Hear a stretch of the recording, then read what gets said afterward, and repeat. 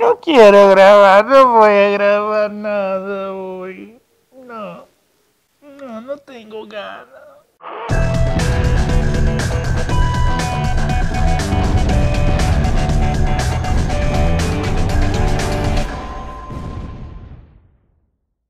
Bueno, hola, señores y señores, sean muy bienvenidos. No, son bienvenidos, nadie es bienvenido en este momento. No puedo mentir a nadie, no, no puedo mentir.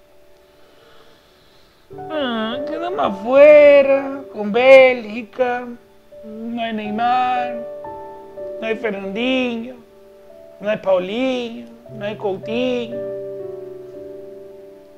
no hay nada. Encima Fernandinho hace este gol contra, yo no puedo creer. Otra vez Fernandinho, otra vez. 2014 lo mismo, Fernandinho. No.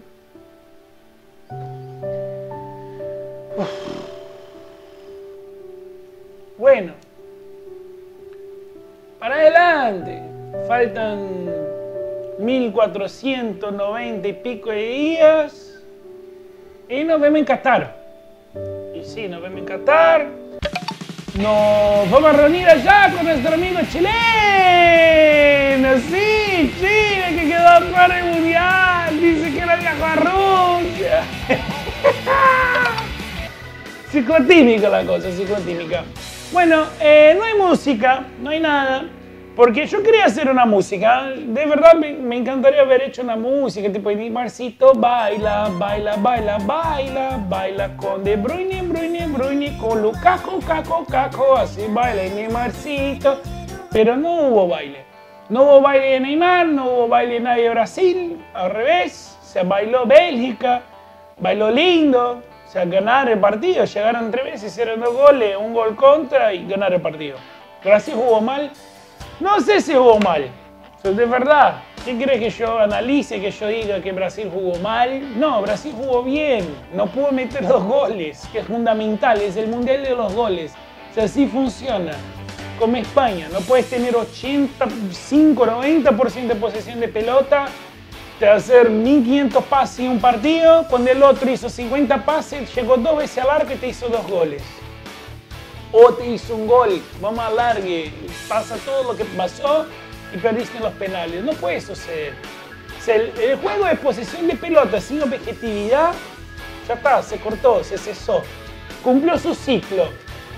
Se cumplió su ciclo. El ciclo Guardiola de Barcelona, que ganó muchos títulos de este mundial, fue un marco, ya está. Se terminó la historia.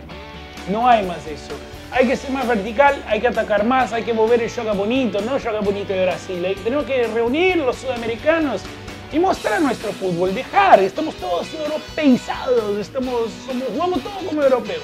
Todos los equipos juegan igual, juegan como europeos. Es el mundial de los equipos. Sí, se consolidaron, los equipos que se consolidaron mejor, que juegan mejor en conjunto, están llegando a estas instancias finales.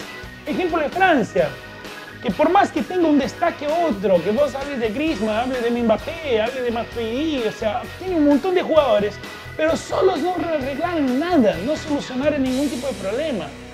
Siempre jugaron en equipo. Mbappé depende de los pases de Matuidi, por ejemplo.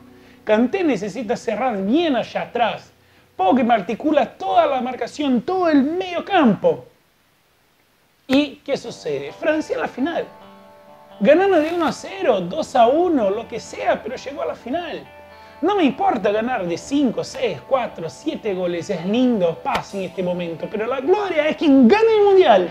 ¿Y quién va a ganar el mundial, en tu opinión? En mi opinión se lleva Francia, porque quedó acá en la llave de los campeones, donde había Argentina, había Brasil, había Bélgica. Los equipos de verdad candidatos a llevarse toda la gloria de este mundial de Rusia. Obviamente, al otro lado, después tuvimos Inglaterra que se fue revelando, está armándose un equipo, pero no creo que tenga la conciencia y, todo lo que se necesita para ser campeón. Después teníamos España que cumplió su ciclo, cumplió un ciclo España. Todos los jugadores toda la prensa hablaban de España, pero España llegó a su fin.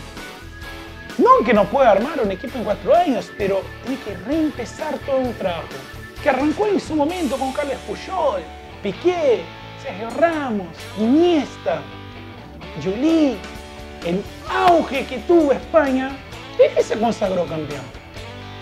Este era el segundo mundial posible para España. Hablando siempre por la lógica, pero es la lógica del impensado del fútbol. Donde vos ves una Rusia llegando a cuartos de final y dando pelea a una Croacia. A una Croacia que ganó de Argentina en fase de grupo, sí, pero una Argentina que jugaba mal.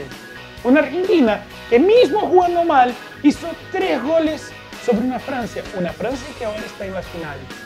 Esta misma Francia que ganó también de Bélgica. Muy difícil, 1 a 0.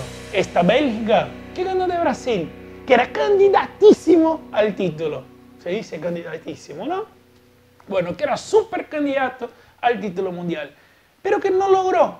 No logró por su falta de concentración, porque quizás se pensaba ser mucho más de lo que era, o por ahí que dejó de jugar como se debería jugar un equipo sudamericano. ¿A dónde voy con todo eso? Es que yo quiero ver las gambetas, yo quiero ver el jugador sudamericano con su creatividad, que sea distinto, no el jugador sudamericano europeo, que piensa ya que como un europeo, que busque siempre por el físico, siempre por la carrera, siempre llevar ventaja donde otro también puede conseguir. Y no, a mí me gusta el jugador creativo, el jugador que busca y rebusca algo distinto. Por eso les digo, no es porque está Francia en la final, no es porque todo lo que pasó, esta locura de este mundial, que fue el mundial más loco de todos los tiempos, al menos desde cuando yo empecé a ver el mundial y tengo recuerdos, para mí seguramente este fue un mundial muy loco. Y está siendo, y todavía queda las finales, tercer puesto, pero bueno, Argentina, Brasil ya quedan afuera y la verdad que no hay mucho más de lo que hablar porque es así. O sea, nosotros hinchamos por Argentina, hinchamos por Brasil, y si no estamos, vamos a hinchar por un sudamericano que no sea el rival, por así decir. O sea, pero sí, sufrimos con Uruguay, por más que no te guste, hay que admitir. Yo prefiero mil veces un Uruguay y un cuarto de final que una Inglaterra, que una España. Porque, porque somos todas latinas, estamos acá, convivimos. Y Uruguay te llevó muy lejos, han recibido allá en su país todos los jugadores con ovación, mucha gente esperando a los jugadores, todos reunidos, todos juntos, porque tenía esta conciencia de grupo. Y desde el primer brazo que yo le dije que Uruguay tiene 11 tipos que juegan, pero ponen todo en los partidos. Quizás es el mismo sentimiento que buscábamos con Brasil, Argentina, de que los jugadores, por más que hayan perdido, vuelvan en la cara y busquen la solución junto a todos. Pero no fue lo que sucedió. Lo que vemos es que vuelven unos pocos a sus países, a Brasil, Argentina, Argentina, Brasil. No habla mucho, porque la prensa los masacra. Esa es la verdad. Y la verdad que ellos deben estar medio hartos y por más que seas profesional o no, el fútbol es un sentimiento en nuestros países. Lo que veo es que en otros lados quizás no lleven tan en serio el fútbol como nosotros, pero sí valorizan mucho más el trabajo hecho. Quizás algo que ahora podamos aprender y en cuatro años más corregir este problema. El hecho es que a mí me hubiese encantado de escuchar a Neymar, que todavía ni se pronunció al respecto de la derrota. No para que diga qué pasó, pero ¿cuál es su sensación? ¿Qué te quedó? ¿Aprendiste algo? Porque en cuatro años tenemos otro mundial. Lo mismo a Messi, que quizás no vaya a estar en el próximo mundial, pero sí, Messi, ¿en qué puedes aportar para el seleccionado? ¿En qué puedes aportar para los nuevos pibes, a todos ustedes que nos están mirando, que son el futuro? Hoy en día, ustedes que están jugando en Fefi son el futuro. El día de mañana van a estar bien seleccionados. Y lo único que queremos es el mismo sentimiento que vos tenés ahora de escuchar a tu ídolo y poder saber qué pasó o qué te pasa. Es una presión muy grande el mundial, encima en Brasil y Argentina. Pero bueno, hoy en día todas las fichas, todo, todo lo que se ve de lindo en este mundial, por ahora lo hace un europeo. De ascendencia africana. Sí, Mbappé. Por más que no te guste, es el único que tira lujos, que tiene este ímpetu de ir adelante, intentar hacer la diferencia Y bueno, y es lindo, es lindo de verse. Es la sorpresa, la verdad es la sorpresa mundial. Un chico de 19 años que tiene toda la responsabilidad de un seleccionado en su espalda y que ni siquiera fue hablado al principio. Todos hablaban de Griezmann, hablaban de Pogba, de un montón de otros jugadores. Y Mbappé estaba olvidado. El partido con Argentina no lo ganó solo, pero sí tuvo la sensatez, la audacia de buscar, intentar hacer el gol, marcar la diferencia y explotar los puntos flojos del otro equipo. Mérito del jugador. Una lástima que no pudimos solucionar el problema porque tranquilamente podríamos haber llegado en esta instancia.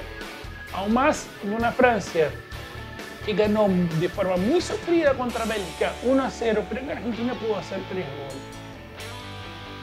Cada partido se juega de una forma distinta. Hay que hinchar, hay que seguir luchando. Cuatro años más estaremos todos en Qatar, ojalá. Lo único que pedimos es que Chile no esté en el Mundial nuevamente, así podemos seguir hablando de Chile. Que bueno, buena suerte a todos los jugadores. Vamos a ver qué sucede en ambos seleccionados porque viene una renovación muy fuerte y hay que seguir de cerca el fútbol también porque seguramente este mundial mostró que hay que cambiar algunas cosas. Así que está muy parejo, no sé si para adelante, si para atrás, no sé si está más nivelado por arriba por abajo. La verdad que cada uno puede sacar sus conclusiones. Yo no soy expert, no soy nada. Doy mi opinión acá nomás. Pero fue un mundial muy loco, muy loco. La semana que viene ya vamos a saber quién fue campeón, quién el subcampeón, tercer puesto, cuarto puesto. Si vienen las vacaciones hay que reflexionar un poquito también. Los veo en la próxima semana o la pasada hay muchas cosas que están pasando en el mercado del pase, el mercado de la pelota, como Cristiano Ronaldo que se fue a la Juve, Buffon que vino al PSG, hay un par de cosas más que van a pasar después del Mundial. Vamos a comer con nuestros camiones hablando de todo eso. Siguen los jugadas de la semana. Estoy muy triste por Brasil, no hay musiquita, pero bueno, un beso enorme. ¡Chao!